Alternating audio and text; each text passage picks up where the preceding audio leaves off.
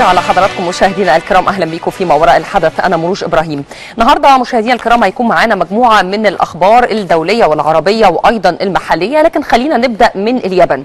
في مفاجأة أو مخالفة جديدة لاتفاق ستوكهولم الخاص بإعادة الانتشار في الحديدة ووقف إطلاق النار اللي قامت بها ميليشيات الحوثي باستهداف الأحياء السكنية المحررة داخل مدينة الحديدة. هذا الاستهداف كان بقذائف الهاون فضلا عن القصف العشوائي بالأسلحة الرشاشه حقيقة إنه مخالفات ميليشيات الحوثي للاتفاق هو تزامن مع إعلان الرئاسة اليمنية إن هي تلقت ضمانات من الأمم المتحدة بالتزام المبعوث الأممي لليمن مارتن جرافيث بتنفيذ اتفاق محافظة الحديدة اللي هو اتفاق ستوكهولم اللي اتكلمنا عليه قبل كده بالشكل الدقيق وببنوده كاملة وده وفقا طبعا لقرارات الدولية وقرارات الأمم المتحدة والقانون اليمني.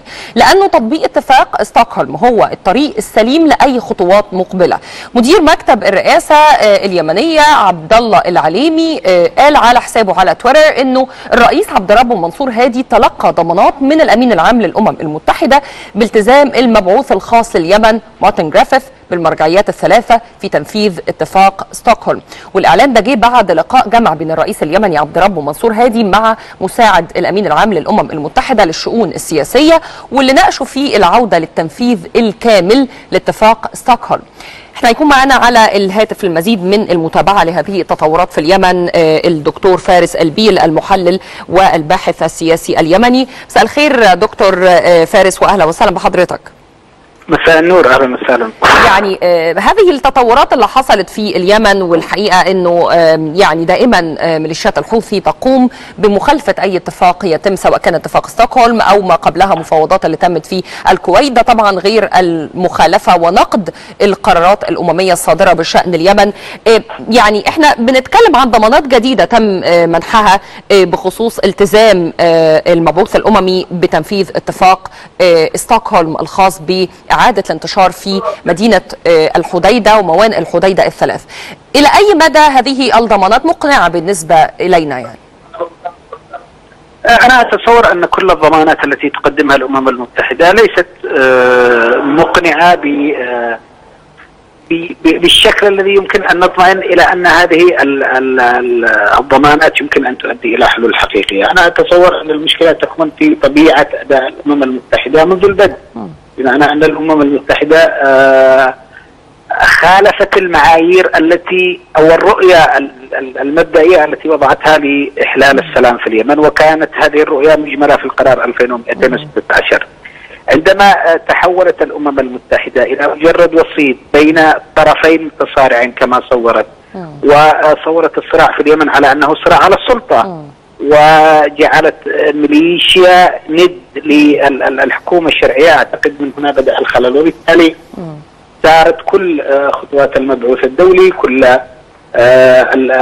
التفاهمات كل المبادرات التي قدمتها الأمم المتحدة على هذا المنوال. وأعتقد أن الحديث الآن عن ضمانات لمجرد عودة وتسيير عمل المبعوث الدولي لا تكفي. بدليل أن كل الخطوات التي يقوم بها هي منطلقة من هذه الرؤية المنحرفة ما لم تعود الأمم المتحدة إلى الالتزام بالقرار الصادر منها وبالحيثيات التي أكد عليها مجلس الأمن. يمكن عندها أن نقول أن الأمم المتحدة وسيط نزيه ووسيط جيد يمكن أن يفرض السلام، أما بهذا الشكل أنا أعتقد أن الأمم المتحدة تقوم بدور لا على الاقل على الأقل لا يقدم لليمنيين السلام ولا يرفع عنهم المعاناه. طيب خلينا نعرف من حضرتك يعني إيه طبيعة الضمانات اللي تحدثت عنها الأمم المتحدة بعد ما الشرعية في اليمن الحكومة اليمنية والقوات الشرعية في اليمن اعترضت على وجود مارتن جريفيث ممثل الأمم المتحدة في اليمن وقالت إن هي ستقاطع لجنة إعادة الانتشار أو لجنة تنسيق إعادة الانتشار اللي تمخض عنها اتفاق ستوكهولم. وخاطبت الأمين العام للأمم المتحدة أنطونيو جوتيريس وطلبته إن هو يقدم بنفسه لمعاينة الأوضاع على الأرض. الأرض أو من يمثله وبالتالي كان الرد هو مجموعة من الضمانات. يعني ما هي هذه الضمانات؟ أو ما الذي يمكن أن تكون هذه الضمانات اللي ممكن يعني تجعل موقف الأمم المتحدة أفضل بالنسبة لليمن آه الضمانات التي قدمتها الأمم المتحدة آه أنها ستلتزم بالمرجعيات الثلاث آه المبادرة الخليجية والقرارات الدولية قرار 2216 ومخرجات الحوار الوطني. هذا جيد وأعتقد أنه هو القرار الحقيقي والشامل لحل المشكلة اليمنية. لكن هل يعني أن الأمم المتحدة بهذا النسق ستلتزم تماما بهذه الأطر؟ وفي الحقيقة هي ليست مجرد أطر لتحرك الأمم المتحدة، هي شاملة حتى للحلول التي يمكن أن تكون نتيجة لكل تحركات الأمم المتحدة ويختصر عليها الطريق كثيرا. لكن للأسف يبدو أن الأمم المتحدة أيضا وسنرى في منتصف هذا الشهر كيف سيؤيد مجلس الأمن خطوات المبعوث الدولي وكأننا في حالة من الصراع أو حالة من العناد وعندما يتحول الوسيط إلى ثائر شخصي يثأر لنفسه ولشخصيته أعتقد أنه لا يصبح وسيطا في هذه الحالة. ليس لليمنيين من مطلب من الأمم المتحدة وقد ألقت الحكومة الشرعية والتحالف العربي بقياده المملكة وضمنه مصر أيضا. ألقوا بثقلهم واطمئنانهم إلى الأمم المتحدة في أنها ستوصل اليمنيين إلى طريق السلام بأقل الكلفه و بكل الطرق التي يمكن أن تحقن الدماء، لكن يبدو أن الأمم المتحدة انخرطت في في في إطار الصراع الدولي في إطار آه لنقل آه حالة الصراع والنفوذ الدولي الموجود والتحالفات والأحلاف الدولية. وبالتالي ضاعت القضية اليمنية وتاهت كورقة بين هذه الملفات مع أن الحل سهل وميسور في اليمن وأعتقد أن الأمم المتحدة بإمكانها أن تحل المشكلة اليمنية غدا. في حال ضغطت على ميليشيا الحوثي باعتبارها هي من تتسبب بكل هذا الدمار وهي المعنية في الأصل على الأرض ومن ثم تسوية الملعب وليكن هنالك بعد ذلك تنافس آه سياسي وايا كان. المهم أن يخرج اليمنيون من حالة الحرب بدرجة أساسية لكن أن يخرجوا إلى حالة سلام دائم. أما إلى صراع قادم أو إلى واسرع مستقبلية فأعتقد أن هذا سيشكل خطرا كبيرا على اليمن. أنا بشكرك جزيلا دكتور فارس البيل الباحث السياسي اليمني. شكرا لحضرتك وهنروح إلى السودان الآن. ويعني هنتابع مع حضراتكم المشهد اللي كل يوم فيه تطورات سريعة. النهارده المجلس العسكري الانتقالي في السودان أصدر بيان أكد فيه المضي بمسؤوليته حتى تحقيق الأمن والتوافق السياسي في البلاد وأشاد بالأشخاص والمؤسسات اللي رفضوا دعوات العصيان المدني اللي بتهدف لتعكير صفو الحياة العامة وتحلوا بروح المسؤولية في عدم تعطيل مصالح المواطنين أو التعدي على حقوقهم الأساسية وحرمانهم من الخدمات.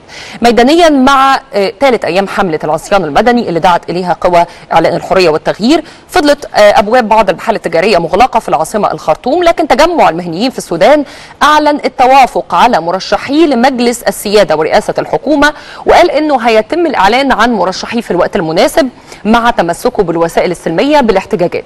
وفي تطور جديد كمان أفادت مصادر سودانية أنه قيادات في تحالف قوى إعلان الحرية والتغيير حذرت من التصعيد مع المجلس العسكري الانتقالي لأنه ما يزال السلطة النافذة في البلاد وأفادت المصادر إنه التحالف أرجى اعلان مرشحيه اللي كان يعني أعلن إن هو اتفق عليهم لمجلس السيادة فيما يتعلق بالوزراء مجلس الوزراء وهيئات قضائية في الحكومة الانتقالية المرتقبة وده في أعقاب تضارب تصريحات قيادته بشأن هذه الخطوة. طيب خلينا بقى نروح معانا على الهاتف سيادة اللواء محمد عبد الواحد خبير الأمن القومي والشؤون الأفريقية تعليقا على هذه التطورات مساء الخير يا سيادة اللواء واهلا وسهلا بحضرتك نور يا فندم ومساء النور على السادة المشاهدين.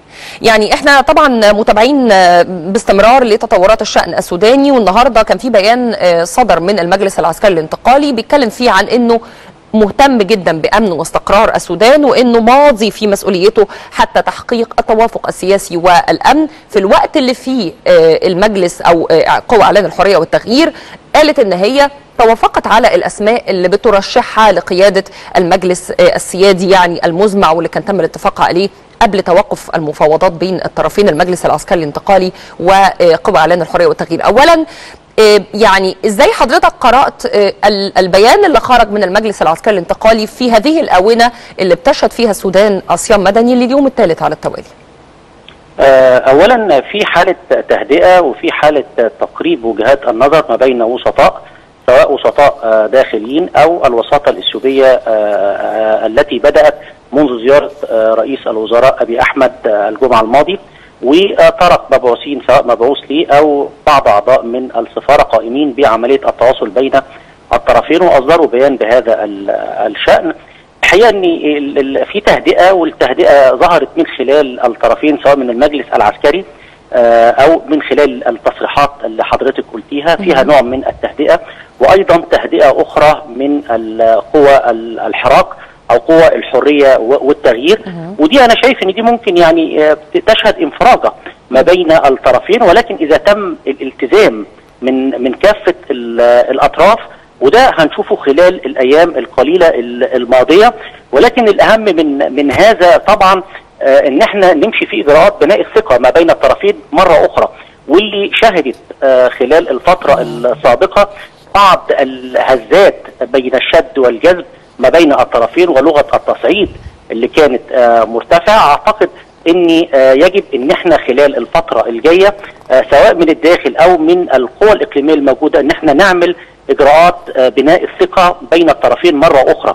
يعني نوفر البيئة المناسبة لإنشاء حوار فاعل وقف خطابات التصعيد المتبادلة ما بين الطرفين تشكيل لجنة طبعا للتحقيق في الأحداث الأخيرة. وأعتقد إن هم ناقشوا أو الوساطة ناقشت فكره تشكيل لجنة للتحقيق في الأحداث الأخيرة.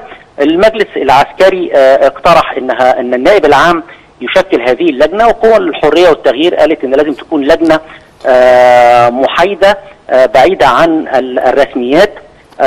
وكمان يبقى يتم الإفراج عن قيادات آخرين معارضين. وأنا الحقيقة منذ دقائق يعني سمعت خبر برضو إن في تم الإفراج عن بعض القيادات من المعارضة السودانية. جميل جدا طيب إحنا بنتكلم عن إجراءات لبناء الثقه لكن في الوقت ده بنجد إنه قوى إعلان الحرية والتغيير بتجتمع وبتعلن عن إنها توصلت إلى أسماء هذه الأسماء تم التوافق بشأنها لقيادة ورئاسة يعني المجلس السيادي اللي كان تم التباحث بشأنه مع المجلس العسكري الانتقالي قبل يعني توقف المفاوضات. اولا هذه الأسماء اللي تم التوافق عليها فيما يتعلق أو من قبل المجلس أو قوى إعلان الحرية والتغيير، هل شايف إنه الخطوة دي ممكن تعقد الأمور مع المجلس العسكري الانتقالي أم إنه يعني دي خطوة قد تكون يعني إيجابية أو خطوة تقدمية الأممية للأمام قد تشجع على إعادة التفاوض مرة أخرى بين الطرفين. أتخيل أن كل الأسماء اللي تم تسريبها أعتقد أن دي تسريبات والأسماء الحقيقة إحنا سمعناها من أمس ليست اليوم فقط ولكن من أمس آه بدأ يتسرب أسماء لرئاسة الوزراء وأسماء للمجلس السيادي.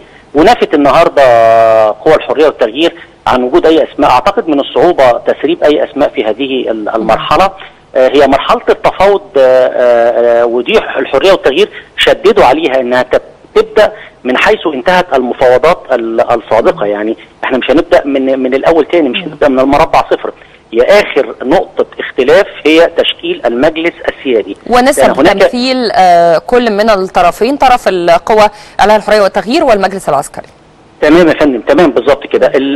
والصلاحيات يعني هم أتخيل خلال ال ال الحوارات التي تمت أمس اتكلموا آه على فكرة الصلاحيات ولكن نسبة التمثيل لم تحدد بعد. أعتقد إن بعد استئناف المفاوضات هيبدأوا من آخر نقطة آه وهي نقطة تشكيل المجلس السيادي ثم ال ال التشكيل الأعداد آه داخل المجلس هل هم مدنيين أم عسكريين أو توليفة معينة حسب ما يتفقوا آه عليها. آه وإن شاء الله بإذن الله يصلوا إلى آه حلول وسط لأن كلا الطرفين وأنا أراهن عليهم الحقيقة إن كلا الطرفين لديهم من الوعي ومن الرشد آه لإضرار مخاطر في الدولة السودانية. هم يعلموا تماما ما يحاك بالمنطقة العربية وما يحاك بالسودان آه بصفة خاصة. واتخيل إن حتى الآن أنا شايف إن الأمور آه تكون طبيعية قد تكون طبيعية في ظل التوتر. السودان بيمر بمرحلة بالغة التعقيد بالغة التعقيد في في منتهى الخطورة. آه إذا لم آه يتم الرجوع إلى الرشد والإدراك ما يحدث آه في المنطقة سوف تؤدي إلى تصاعد الأوضاع وتدهور الأوضاع قد تعصف باستقرار السودان أو باستقرار المنطقة بالكامل. وتخيل إن الطرفين حريصين على عدم التصعيد واحتواء هذه المشكلة سودانية سودانية يعني بدون تدخلات خارجية. وده اللي إحنا هنشوفه إن شاء الله خلال الفترة القادمة. قد تظهر بعض الخلافات البسيطة خاصة فيما يتعلق بأعداد لا نتبادى طبعا إنه هذه الخلافات يعني تتعمق أكثر. لكن يعني هل حضرتك يا سيادة اللواء شايف إنه العصيان المدني أو دخول العصيان المدني حيز النفاذ منذ ثلاثة أيام النهارده اليوم الثالث على التوالي وفعلا في بعض المحال مغلقة في بعض المواطنين استجابوا لهذه الدعوات هل شايف إن هي أداة ضغط؟ يعني قوية على المجلس العسكري الانتقالي أو أداة ناجحة في إيد قوى إعلان الحرية والتغيير ولا يعني قد تؤدي إلى تعميق الأزمة أو قد تؤدي إلى الوصول إلى طريق مسدود؟ آه أنا أتخيل أتخيل الأمور كانت ماشية آه بصورة طبيعية لغاية نقاط الخلاف آه فيما يتعلق بتشكيل المجلس السيادي ثم المجلس العسكري حاول حاول أن يغير من مقاعد من ضابط التفاوض. وبالتالي كان عايز ياخد ال upper hand أو اليد العليا في عملية التفاوض ويصير التفاوض في اتجاه آخر. وبدأنا بدل ما نتكلم على النقاط الخلافية السابقة بدأنا نتكلم على انتخابات بعد تسعة أشهر. رد العصيان المدني ده كان رد على هذه المحاولة من المجلس العسكري. ثم قام المجلس العسكري بعملية أو هنقول تم فض الإعتصام بصرف النظر عن مين اللي فض الاعتصام لكن تم فض اعتصام بطريقة سببت نوع من الإحباطات داخل الشارع السوداني وكان رد عليها برضو عملية العصيان المدني. يعني كلا الطرفين استخدم التصعيد ضد الطرف الآخر. كلا الطرفين استخدم لغة العنف ضد الطرف الآخر. ولكن الضحية كلها كانت الشعب السوداني للأسف يعني. تعطيل المصالح أو غلق المحال التجارية مستشفيات اتعطلت في في حاجات كثيره جدا خسائر كلا الطرفين أتخيل إنه عرف الأضرار وكلا الطرفين عرف مدى قوة الطرف الآخر في عملية التصعيد. أنا بشكرك جزيلا سيادة اللواء محمد عبد الواحد خبير الأمن القومي والشؤون الأفريقية شكرا جزيلا وجودك معنا. خلينا بقى نروح لخبر أعتقد إن هو خبر مهم وبيخص كل وسائل الإعلام وكل يعني القنوات التلفزيونية سواء كانت الأرضية أو القنوات الفضائية إلى آخره. لأنه هذا الخبر هو متعلق بمجموعة ضوابط أصدرها المجلس الأعلى لتنظيم الإعلام اليوم لضبط المشهد الإعلامي من حيث الالتزام بالمهنية وضع عدد من الضوابط والمعايير لتنظيم عمل البرامج المختلفة وده لإرساء خطاب إعلامي تنموي. الضوابط دي أعدتها لجان للمجلس متخصصة بتضم مجموعة من الخبراء والمتخصصين في مجال الإعلام. خلينا نستعرض أهم هذه الضوابط الخاصة بتنظيم عمل البرامج مع حضراتكم آه كالتالي. طيب أول حاجة هنبدأ ب آه يعني ضوابط خاصة ببرامج التوك شو آه أول مجموعة من الضوابط أن يكون مقدم البرامج ورئيس تحريره عضوين بنقابتيهما يعني نقابة الخاصة بالاعلاميين أو نقابة الصحفيين ايا كانت النقابة اللي بينضم إليها أو بينتمي إليها العامل في البرنامج أن يكون رئيس التحرير مسؤول عما يذاع وعليه مراجعته أن يكون لكل ملف داخل البرنامج معد ذو خبرة أن يلتزم بالمرجعية والمصدرية في كل معلوماته. المذاعة أن يدعم الخبر أو المعلومات بتقرير مصور أيضا أن يجمع بين الخبراء والمسؤولين ولا يقتصر على طرف واحد. لا يطلق صفة الخبراء والمحللين إلا على الضيوف الذين يحملون تلك الصفة بحكم الوظيفة أو الدراسة التنويه عن مهنة الضيف وأيضا التأكد منها. أن يجمع بين فنون البرامج من حيث مباشر واتصالات وتقارير مصورة. أن يهتم بالأحداث الجارية فقط. ألا يترك الوقت للمذيع أو يترك الوقت بالأحرى للمذيع وأن يعطى أو تعطى الفرصة للضيف لعرض رأيه. ان يلتزم بالدقة والموضوعية في الإعلان عن ضيوفه وأيضا عن الحلقات.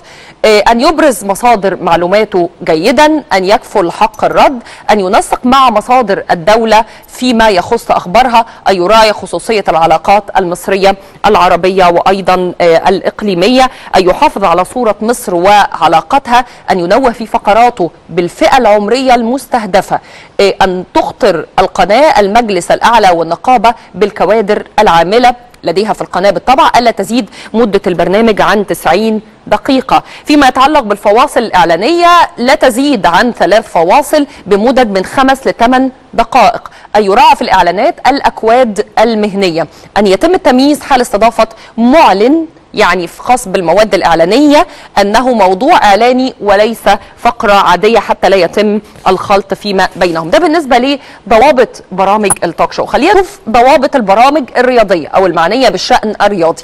الالتزام بتطبيق قانون الملكية الفكرية والحقوق الحصرية عدم تسييس المحتوى أو التحريض أو إثارة الرأي العام حيادية المقدم وفريق العمل والضيوف. أيضا من ضوابط البرامج الرياضية البعد عن كل لفظ أو تشبيه أو إشارة تخدش الحياء العام ونبذ كل أشكال التعصب بين الجماهير نتيجة لانتمائهم الرياضي. آه، كل دي آه، يعني آه، عدد من الضوابط. أيضا أن يكون مقدم البرنامج ملم دي آه، يعني إحنا انتقلنا دلوقتي على ضوابط البرامج الدينية أو المختصة بالشؤون أو بتناقش الشؤون الدينية. اولا أن يكون مقدم البرامج ملم بالقضايا الدينية. أن يكون الضيف أو الضيوف من علماء الدين أو أساتذة الجامعات المعروفين. عدم إثارة قضايا خلافية أو آراء تثير الفتن أو تحرض على التطرف. عدم بث إعلانات قبل أو أثناء أو بعد البرنامج مباشرة لا تتناسب مع القيم آه، الدينية.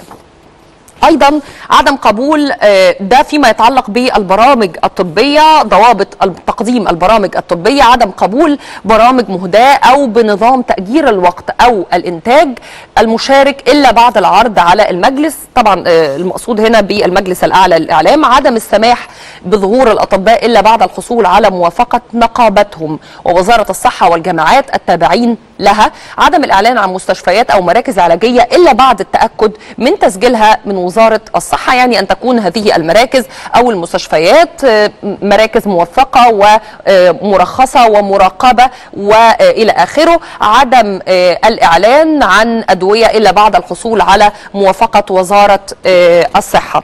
طيب خلينا بقى آه، يعني نشوف آه، أو نتابع مع حضراتكم آه، يعني من الخبراء المعنيين بصناعة وتقديم الإعلام تعليقهم على مجموعة هذه الضوابط. إحنا معانا على الهاتف الإعلامي حمدي الكنيسي عضو الهيئة الوطنية للإعلام والخبير الإعلامي مساء الخير أستاذ حمدي وأهلا وسهلا بحضرتك.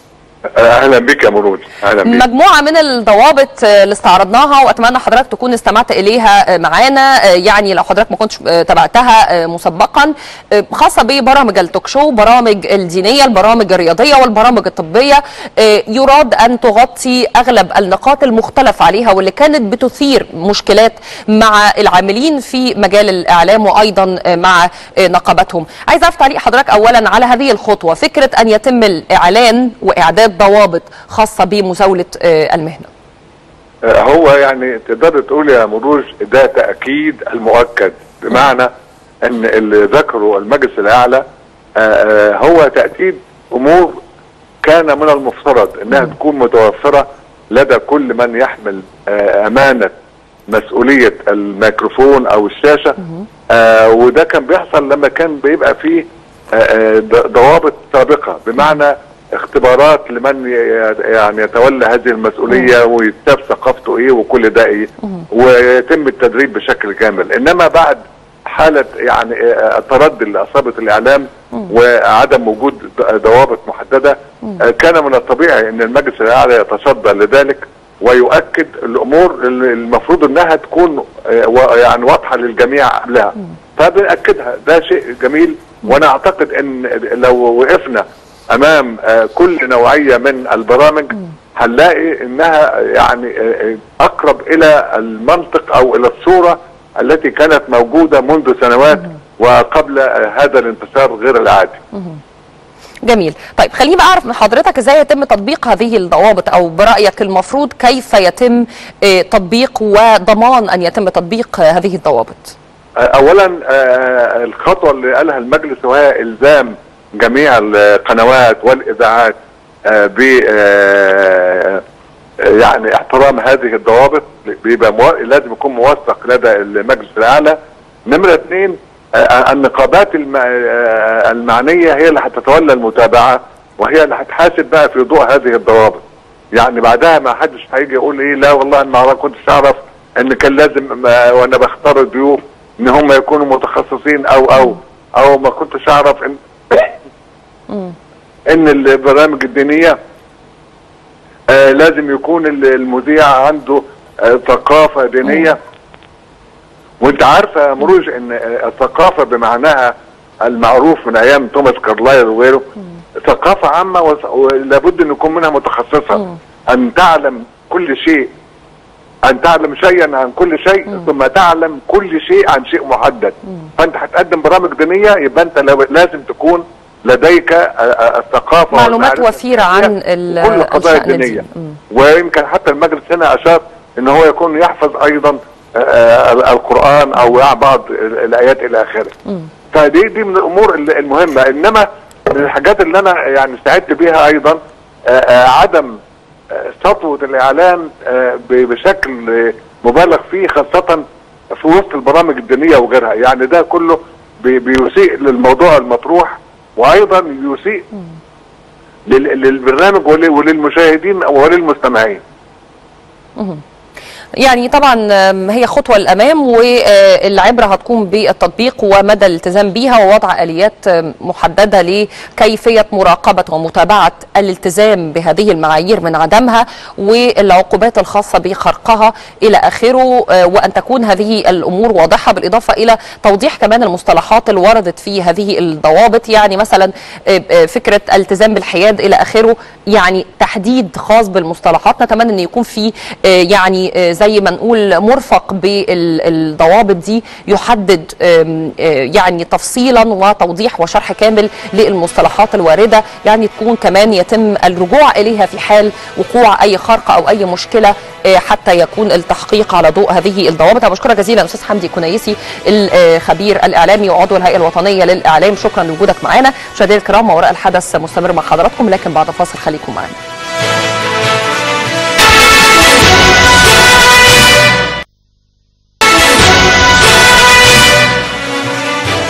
أهلا بحضراتكم من جديد. هنرجع على الشأن الليبي. النهارده آه، شعبة الإعلام الحربي التابعة للجيش الوطني الليبي. نشرت لقطات بتوضح استهداف مقاتلات الجيش لمواقع الميليشيات الإرهابية في العاصمة طرابلس وقالت إنه المقاتلات أصابت أهدافها بدقة وأشارت لانسحاب الميليشيات الإرهابية جراء هذه الضربات. ده طبعا في إطار عملية آه، الجيش الليبي لتحرير العاصمة طرابلس من الميليشيات الإرهابية. معانا على التليفون للمزيد من الإيضاح آه، الأستاذ سراج الدين التورغي الباحث السياسي الليبي مساء الخير آه، أستاذ سراج وأهلا وسهلا بحضرتك. مساء الخير أختي الكريمة لك ولكل المشاهدين الكرام نعم محتاجين من حضرتك صورة أوضح لطبيعة التقدم اللي بيحرزه الجيش الوطني الليبي على الأرض في العاصمة طرابلس. آه ال- بالنسبة للجيش الليبي أختي الكريمة بفضل من الله آه يحقق انتصارات يوميا آه، في آه، تحرير العاصمة طرابلس. آه الجيش الليبي يتقدم بخطة ثابتة حقيقة وعبر خطة مدروسة وموضوعه بمراحل تم الإعلان عنها مسبقا. آه نحن نرى حقيقة إعلان ال- شعبه ال- الإعلام الحربي لهذه الضربات التي تم توجيهها لهذه ال- ال- الميليشيات الإرهابية الإجرامية آه، التي حقيقة تبعث الطمانينه في نفوسنا جميعا كليبيين بدقه عمليات الجيش. وأن الجيش الليبي يوجه ضربات دقيقة جدا لهذه الميليشيات على عكس تماما ما يقوم به هذه الميليشيات الإرهابية من جلبهم آه، طيارين مرتزقة، نحن رأينا إسقاط الجيش الليبي لطائرتين يقودهم آه، اثنين مرتزقة أحدهم من الإكوادور والآخر من البرتغال حسب ادعاء هؤلاء الأشخاص الذين تم اعتقالهم. آه، حقيقة نفسي الكريمة الجيش الليبي كل يوم يثبت آه، لنا بأنه آه، فعلا جيش وطني وسيحرر الوطن من دنس ال- الإرهابيين والعصابات المجرمة. على المقابل تماما نرى الدعم التركي القطري بشكل واضح ومباشر يوميا لهذه الميليشيات الإرهابية. رأينا الجيش الليبي خلال ال- ال- الأيام القليلة الماضية كذلك يدمر طائرتين مسيرتين في قاعدة م- معيتيجا الجوية في في طرابلس. رأينا فيديوهات لمستشارين أتراك يدربوا أفراد الميليشيات الإرهابية من مصراتها تحديدا على استعمال ال- آه، المصفحات آه، بفضل من الله آه، وحسب ما نراه بانه يوميا في تقدمات وهذا شيء حقيقة يثبت الصدر نعم. جميل. طيب خليني أركز مع حضرتك على الدعم اللي بتقدمه آه، تركيا وقطر للجماعات الإرهابية. كان في أكثر من مناسبة الناطق باسم قائد الجيش الليبي اللي هو أحمد المسماري. آه، أوضح آه، يعني بالادله والاسانيد إنه في دعم كبير بيقدم سواء كان بالطائرات سواء كان من خلال السفن اللي بتحمل أسلحة بتمد ال- الإرهابيين بكل ما يحتاجونه لمقاومة الجيش الليبي والاستمرار في احتلال العاصمة. يعني إيه طبيعة حاليا الدعم اللي بتقدمه تركيا وقطر للجماعات والميليشيات الإرهابية الموجودة في طرابلس ويعني مدى يعني آه، إعاقة آه، هذه أو هذا الدعم لجهود الجيش الليبي في التقدم لتحرير طرابلس. آه، أختي الكريمة الدعم ال- تركيا وقطر لهؤلاء الإرهابيين حقيقة ليس جديدا هو من عام 2011 آه، رأينا فيديوهات لتدريب ضباط قطريين لقادة الإرهابيين في ليبيا في عام 2011 آه، رأينا حقيقة حتى العديد من الدول منها اليونان منها مصر ترفض سفنا آه، من تركيا متوجهة إلى ليبيا إلى مصراتها تحديدا لدعم الأخوان المسلمين والميليشيات تنظيم القاعدة الإرهابي داخل آه، ليبيا. رأينا صور آه، مئات الإرهابيين الذين تم إصابتهم في مواجهه الجيش الليبي آه، من أنصار الشريعة ومن داعش وغيرها. صورهم وهم يعالجوا وفيديوهاتهم في مستشفيات تركية. وانتشرت بشكل كبير هذه الصور وهذه الفيديوهات. ونحن نعلم أن تركيا عالجت أكثر من 4000 داعش في وهناك كان تصوي بين المدينة. تحديدا وبين تركيا آه نحن نرى حقيقة دعم علني لقطر لهؤلاء الإرهابيين. نحن نعرف احتضان قطر وتركيا لأسماء كبيرة من هؤلاء الإرهابيين المطلوبين حتى دوليا. نحن رأينا حتى القوات الأمريكية أختي الكريمة تعتقل الإرهابي عزوز وهو أحد أكبر الإرهابيين الدوليين في في تركيا. فالدور التركي القطري في دعم هذه الميليشيات آه، آه، دور ليس بجديد. وأعتقد بل أجزم بأن الجيش الليبي بإذن الله على قب على مدى قب قوسين أو أدنى من قطع هذه الأذرع داخل ليبيا. وأجزم بأن معركة طرابلس هي المعركة الأخيرة فعلا لتحرير ليبيا من هذه الميليشيات التي عانينا منها جميعا كليبيين على مدى ثمان سنوات. آه، أعتقد أن هذه السنوات العجاف آه، ستأتي بعضها بعدها سنوات آه، يسقى فيها الناس. آه، ونتمنى حقيقة تحرير آه، العاصمة الليبية طرابلس آه، بأسرع وقت. آه، نحن نعلم جيدا حقيقة أن أهلنا في طرابلس خرجوا في مظاهرات جامعة أكثر من آه، آه، أكثر من مرة في في آه، ساحة الشهداء. تدعو الجيش الليبي لزحف لطرابلس وتحريرها من هذه الميليشيات الإرهابية. رأينا المشير خليفة حفتر عند انطلاق عملية تحرير طرابلس يقول لبيك طرابلس. وهي إشارة واضحة على تلبية الجيش الليبي وقائده البطل آه، لنداء أهلنا صحيح ده رغم طبعا كمان قرار تمديد حظر بيع السلاح في ليبيا الحقيقة صدر قبل ساعات من مجلس الأمن وهو قرار كان صادر بيتم التمديد له وبالفعل تم تمديد هذا الحظر اللي بيشكل طبعا ظلم كبير بالنسبة للجيش الوطني الليبي اللي بيحارب الجماعات والميليشيات الإرهابية المتطرفة في طرابلس وباقي أنحاء ليبيا. أنا بشكرك جزيلا آه، السيد سراج الدين التوارغي الباحث السياسي الليبي. شكرا لوجودك معنا. خلينا بقى نروح لخبر محلي وهو متعلق باللجنة التنفيذية لصندوق تحيا مصر. اللي عقد اجتماع آه، بالأمس واستعرض آه، أعمال شركة تحيا مصر القابضة وشركاتها التابعة. واللي من المنتظر خلال المرحلة المقبلة افتتاح شارع 306 في مدينة طنطا في الغربية وهيضم 14 آه، كشك و8 بايك وثلاث عربات ومنطقة ألعاب للأطفال. وكمان شارع 306 في منطقة شيراتون اللي بيضم 21 عربة ومنطقة ألعاب للأطفال. وشارع 306 في مدينة دمياط اللي بيضم سبع أكشاك وستة بايك وشارع 306 في منطقة الدم الدقي وبيضم 20 عربة و10 بايك. وتم عرض آه، موقف مبادرة توفير آه، 564 حضانة للأطفال المبتسرين. وده بالإضافة إلى عقد اجتماعات مكثفة خلال الفترة اللي فاتت مع عدد من مدير المستشفيات الحكومية زي مستشفى أبو ريش للأطفال وده الوقوف على احتياجاتها بالإضافة إلى عدد من منظمات المجتمع المدني. معانا على الهاتف آه، سيد محمد مختار المتحدث باسم صندوق تحيا مصر. مساء الخير آه، يا فندم وأهلا وسهلا بيك. مساء الخير أستاذ مروج. الحقيقة مجموعة من ال ال يعني خلينا نقول الجهود اللي بتتم آه، يعني آه، مش باستمرار يعني بيتم آه، متابعتها لكن بنلاقي إنه لما بيتم الإعلان عن هذه الجهود الحقيقة جهود كبيرة جدا وعدد من المحاور بيتم العمل عليها بالتوازي في عدد من محافظات الجمهورية وفي عدد من القطاعات. يعني محتاجين نعرف من حضرتك أكتر آخر هذه الجهود وآخر ما قام به صندوق تحيا مصر. في البداية مفيش شك إن دور صندوق تحيا مصر يوم بعد يوم بيتضاعف كمعاون لكافة أجهزة الدولة والمجتمع المدني علشان نقدر نحط حلول جذرية لمشكلات اللي بتؤرق المجتمع. يمكن آه، اجتماع اللجنة التنفيذية استعرض العديد من المشروعات آه، القائم بتنفيذها صندوق تحيا مصر آه، منها مشروعات في مجال الصحة منها مشروعات في مجال التنمية العمرانية منها مشروعات في مجال التمكين الاقتصادي. في مجال الرعاية الصحية. يمكن إحنا من بداية 2019 السيد الرئيس أطلق مبادرة نور حياة لمكافحة مسببات ضعف وفقدان الإبصار. آه الحمد لله يمكن آخر رقم إحنا أعلنا عنه هو ألف عملية للمياه البيضاء مجانا خلال شهر رمضان بس. آه كمان إحنا آه مشكلة الأطف- الأطفال المبتسرين آه دي مشكلة قائمة بشكل سنوي آه في مصر ويمكن كتير جدا من المناطق في الصعيد بتعاني من عجز وجود الحضانات للأطفال الصندوق وفر آه بالتعاون مع آه البنك التجاري الدولي 504 آه 564 حضانة علشان نقدر إن إحنا ندرس العجز اللي موجود في الأماكن دي. وكمان من خلال الدراسات اللي إحنا بنعقدها مع المستشفيات بنكتشف إن كمان المشكلة ما بتبقاش في التجهيزات بس لا كمان ال- القوى البشرية اللي بتشغل الحضانات دي فيها أحيانا كتير آه مشكلات كمان إحنا بنحاول إن إحنا ندرس إزاي نحل المشكلات دي.